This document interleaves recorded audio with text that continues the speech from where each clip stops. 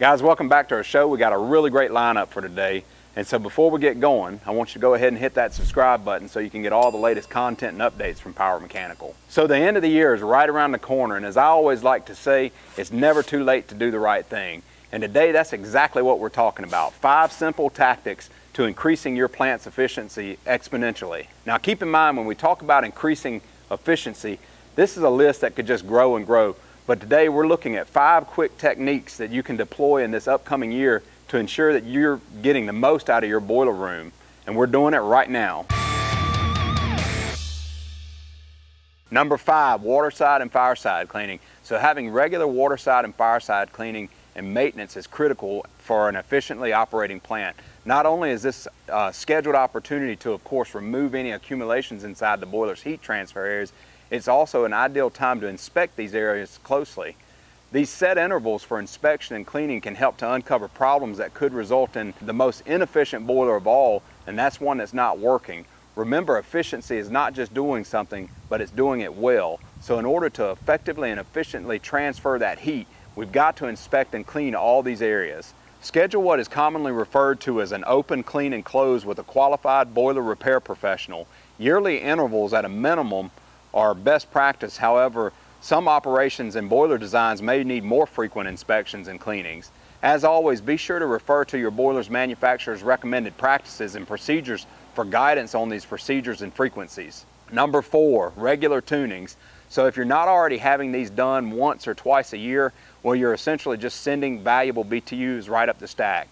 You see, as the ambient temperatures make their biggest changes during the fall and the spring, the combustion curve for these industrial burners oftentimes requires a tuning to get the right combination of air to fuel.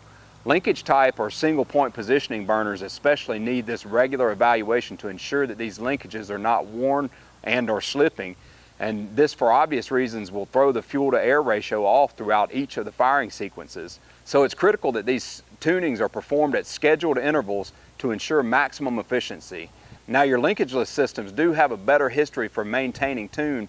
However, regular evaluations of the combustion curves on these are best practice as well. Partner with a local boiler and combustion company to perform these combustion analysis and tunings to ensure that your boiler is not sending dollars right up the stack. Number three, economizers. Now, since we're talking about the stacks, it would be amiss not to mention an economizer. One of the most significant increases in efficiency you can get is from decreasing stack temperature. The best way to decrease stack temperature is by installing an economizer. These components put that otherwise wasted heat back into the process for further use. When you consider that for every 10 degrees of increase in feed water temperature, it equates to 1% gain in efficiency, then you can see as to where the concept of utilizing an economizer is a sound decision. Stack temperatures on various boilers designs can still be several hundred degrees in these final passes and utilizing an economizer can capture this sensible heat and put it back to work. So an economizer just makes perfect economical sense. Number two, gauges and thermometers. Gauges and thermometers are some of the simplest components that you can utilize in order to maximize your plant's efficiency.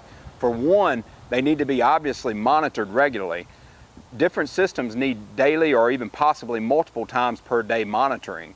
Gauges and thermometers tell us when systems may have changes in regular operating pressures and or temperatures and these changes can oftentimes be due to accumulations of soot, scale or other problems that if caught early can prevent even bigger problems. All of these gauges are in place for a reason, so don't just write them off as an unnecessary check. Secondly, don't assume that these are all working properly. A fresh set of gauges or thermometers at set intervals is a really good practice to ensure that the all of the checkpoints on your steam or hot water systems are performing satisfactorily. The cost associated with changing these out regularly is pennies as compared to the money wasted from an inefficient system. And finally, number one, efficient operators. What better way to have an efficient plant than to have operators efficiently running it? When we think about the, doing the work and doing it well, then getting the right knowledge and putting it to work just can't be beat.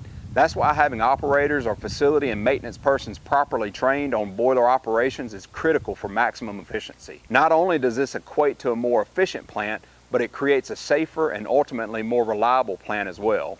When operators understand what maintenance is important, the operations of it, and the frequencies required for their systems, then all of these things collectively fall into place and make for what I like to call a well-oiled machine. Contact a qualified professional boiler training provider so your entire facility can be trained and stay up to date on all of the latest information on having a safe, reliable, and efficient plant. All right, guys, like I say, it's never too late to do the right thing, and it's also not too late to register for STEAM School and our upcoming classes. You can give us a call right here at this number and talk with us direct about the upcoming dates and get some more information on it. And I also want to wish you a Merry Christmas from all of us here at Power Mechanical. And uh, make sure and subscribe and hit that like button if you enjoyed this video. And other than that, we'll see you next week for another Steamworks.